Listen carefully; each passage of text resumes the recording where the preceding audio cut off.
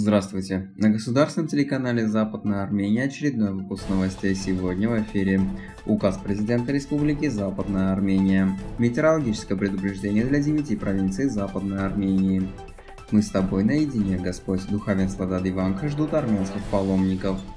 Европа Ностра, Европейская ассоциация археологов, призывает к защите культурного наследия в Арцахе.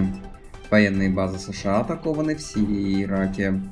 Создана возможность виртуального посещения армянского монастыря Святого Фадея в Иране.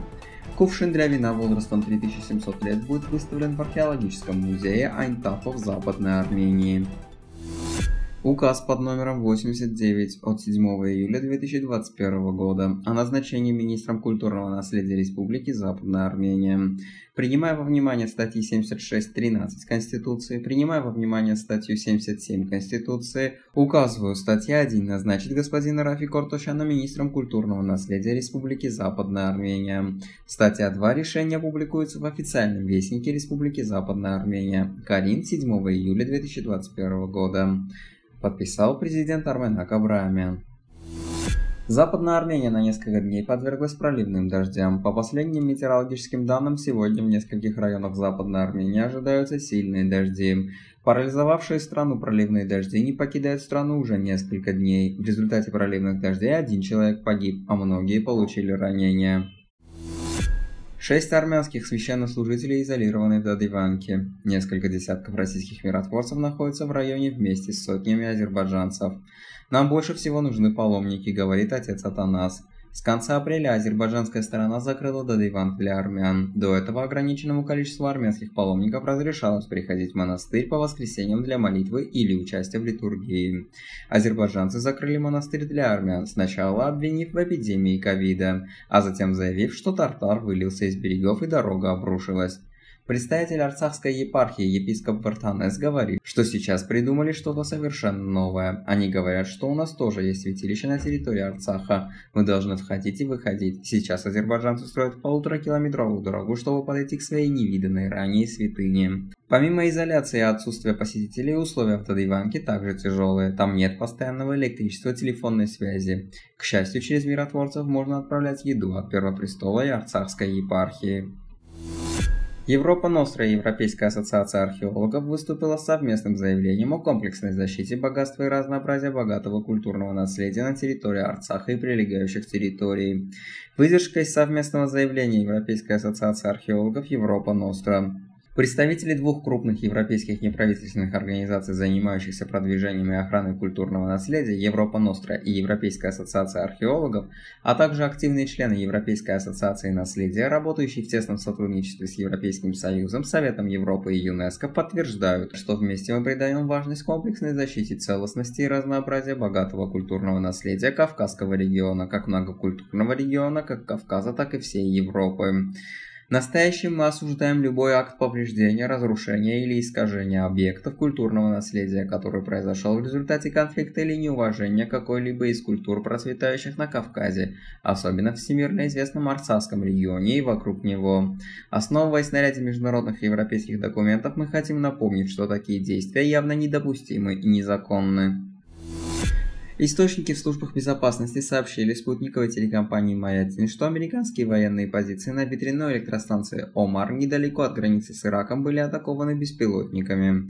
В свою очередь, директор пресс-службы демократических сил Сирии Фархад Шам заявил, Наши авангардные силы в борьбе против Тахес и международных сил содействия безопасности в районе шахты Дерзорио-Марс оказали сопротивление ударам беспилотников. По предварительным данным, атаки не увенчались успехом и о каких-либо повреждениях не сообщается. Несколько дней назад источники сообщили Маятину, что четыре неизвестных взрыва были слышны на военной базе США в Сирии, где размещены американские, британские и французские войска. Источники также сообщили мне от Тина, что в западной иракской провинции Амбар было слышно четыре взрыва из-за ракетного обстрела, находящейся под контролем США авиабазы Айн-Асада. По данным Международного агентства по атомной энергии, 14 ракет попали в военную базу Айн-Асад и ее окрестности, добавив, что по предварительным данным три человека получили легкие ранения. Создана возможность виртуального посещения армянского монастыря святого Фадея в Иране. Об этом сообщил Джалель Джабари, генеральный директор управления культурного наследия туризма и ремесел провинции Западный Атарпатакан, Ирана. Виртуальный тур проводится на пяти языках, включая армянский, английский, персидский и другие. Монастырь Святого Фадея – армянский монастырский комплекс на севере Ирана, построенный в 4-6 веках.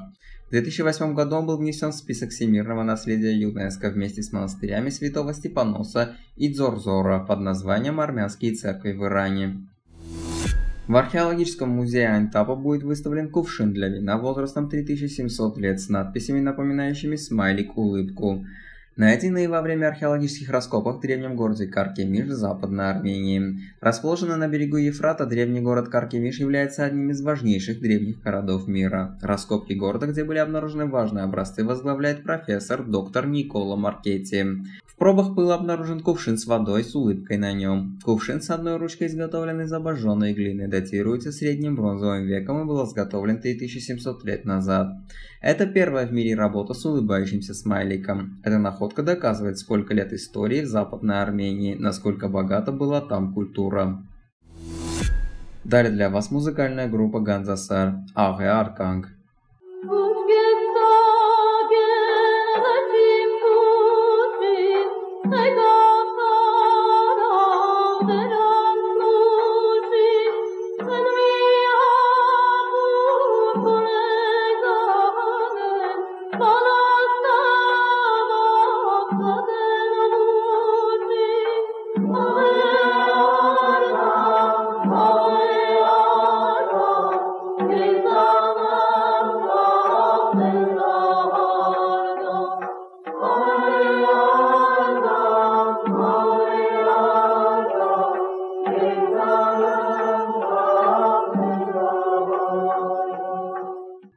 Полная версия видео доступна на официальном сайте государственного телевидения Западной Армении. А на сегодня все. Желаем вам всего хорошего.